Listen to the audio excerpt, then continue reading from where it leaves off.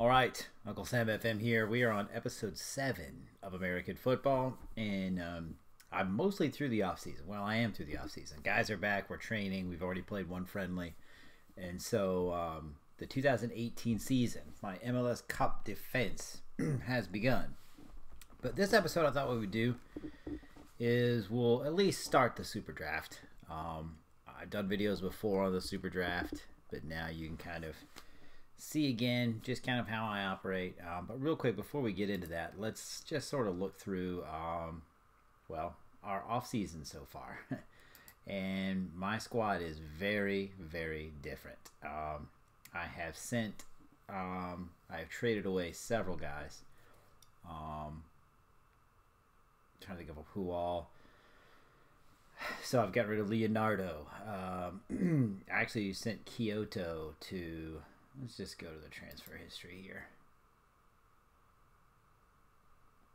Um, yeah, here's some of my outs. So Dylan Remick sent to DC United for a late draft pick. Sold Garcia to Tulsa. Sold Eric Bird. Uh, I've started sending some of my guys out on loan, and we'll talk about these guys. I, obviously, I've brought a lot of guys in, and we'll talk about them uh, in a moment. Um, think there was a way to see trades, right? Yeah, so sent off um, Quioto. I actually brought in Villarreal in this in the waiver draft. Sent them on to Atlanta. Uh, sent Cerén to Columbus. Sent Jared Watts to DC United. Made a couple big deals for international slots and draft picks. Where I sent obviously some big, you know, Cabezas, De La Garza sites, Boniek Garcia, Alvarez, Leonardo, and so um, it's been busy. Um, as far as sending guys out, which means that, yeah, I'm a lot. well, there was a lot of, a lot of openings. So um, I brought in a lot of guys who my scouts recommended. Um, one was was my my scout uh, in Central Europe looking for loans. Uh, brought me this guy, which by the way I let uh, Orihuela go back to Ajax, but I brought in this guy who I think is an even better right back than Orihuela. For he's going to be here all season on loan from Anderlecht.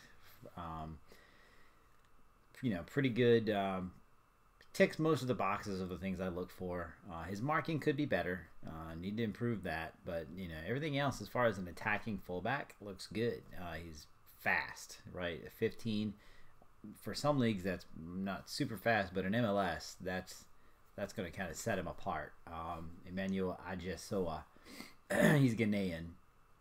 Um, not been capped yet, but I've got to imagine that he's gonna get capped. He can play right or left, but probably for me, he's gonna be on the right because he's got a, he prefers his right foot. Although, you know, he's decent with his left foot. So in a pinch, I can throw him on the left. Um, so that was a big get for me. The rest of these guys are, um, well, no, this guy Leo Xavier or Xavier, however you pronounce it. I don't know. If you, if any of you guys know Leo Xavier, um, correct me. But um, obviously that 2.8 million that's a big deal. Um, he is a center back or defensive mid. Probably he's going to play center back. Um, he's pretty good in all the center back areas. Would like him to be be able to jump a little better. Um, but you know he's he's he's gonna be what he probably for me he's gonna be one of my best center backs um, so those are my two main uh, guys that I brought in. Brought in some academy prospects. Nick Allen um, looks, you know, decent. He's got good determination. Scouts rated three and a half stars. Uh, Alejandro Davis, um, only two and a half stars, but he was 18, and so I kind of brought him in in the hopes that I could then eventually sell him to a lower level club.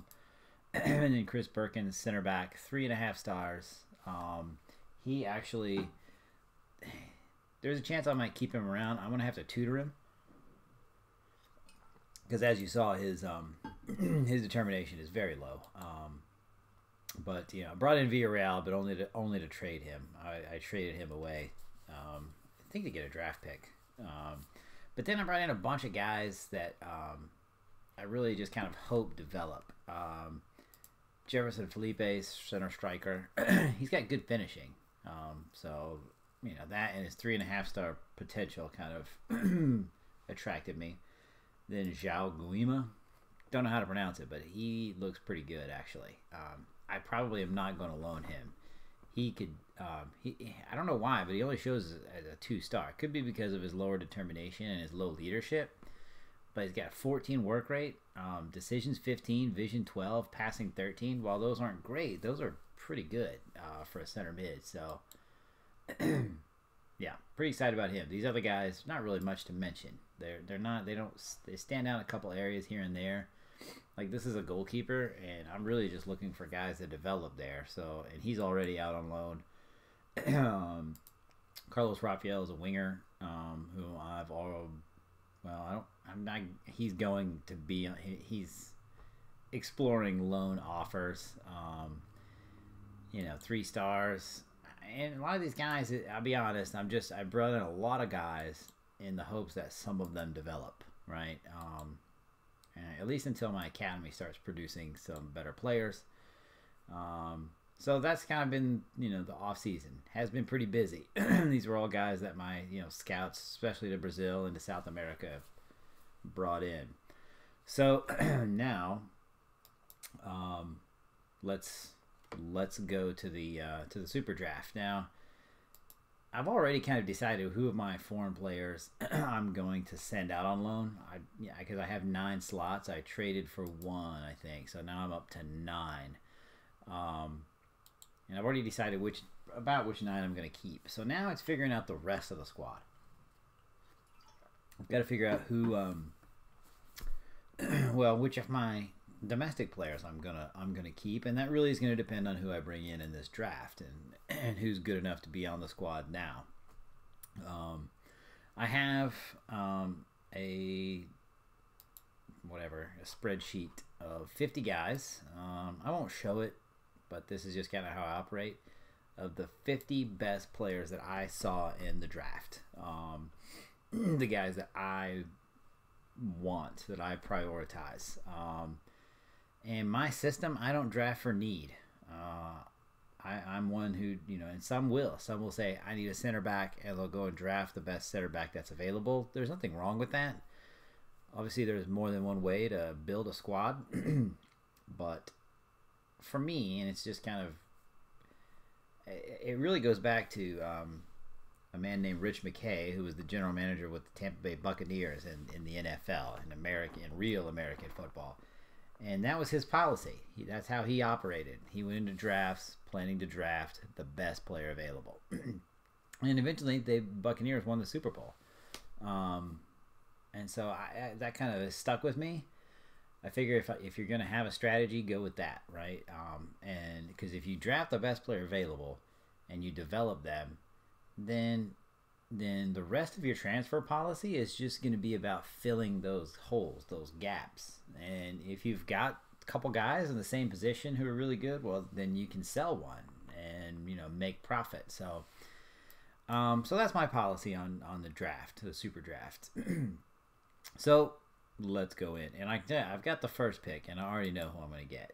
Um, see if I can find him. His name is Dalrymple, which is kind of a funny name, but he is a he just happens to be a center back. Um, we'll take a quick peek at him. um, you look at that 14 tackling, 13 marking, and my scouts. Um, don't remember if some of the I didn't get to scout all the guys yeah, yeah. This one I, they didn't get his scouting finished, but um, you look at those numbers, and yeah, it was pretty clear that he's the guy I wanted. So Dalrymple is the first pick.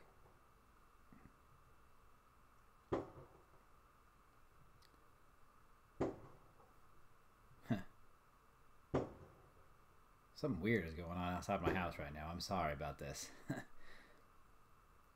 So Dalrymple, first pick. and let's see who's next. Rob Bowen. I don't think I had him on my on my list. I'm gonna try and and not and do this as little as possible. I have a, a spreadsheet that you guys I guess can't see where I list all my guys. Um, Dalrymple is gone, so I'll take him off. Yeah, Bowen I don't even have in my top 50, which is unusual. Usually the first few picks will come out of there.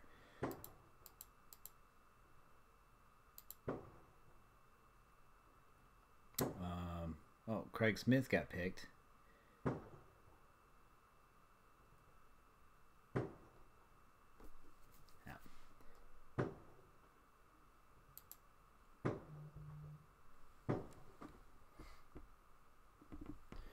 Okay, uh, Craig Smith. I don't think I had him on my list. And I'm sorry, this is kind of weird, but there's a weird sound going on outside my house that almost sounds like gunfire. but I don't think it is. I think somebody's just beating on something. I don't live in a dangerous neighborhood. Adrian Solis picked up by the fire. I did have him on my list. He was number four. but I don't see Craig Smith when you have a list of 50, sometimes the names don't always just pop out. And I did spend a lot of time looking at all these guys. I take the draft very seriously because it's a really good way to build your squad. Too many people don't put enough effort into it. Um, okay. Scott Hill, don't think I had him on my top 50. This is going to be a really good draft for me if this is how this is going to go. I already got my number one guy.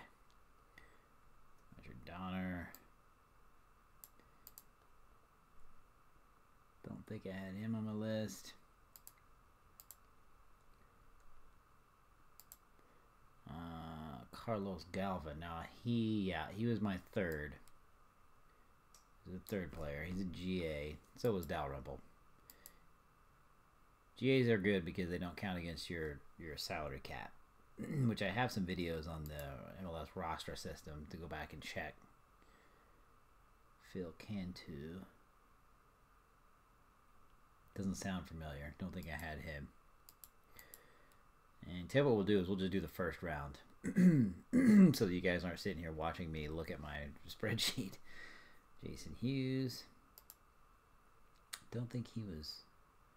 I had a Hughes, but I don't think it was a Jason. No. Okay, so now's my pick. And the next player I have was actually my number two, a Gabriel Nardella. He's a center mid.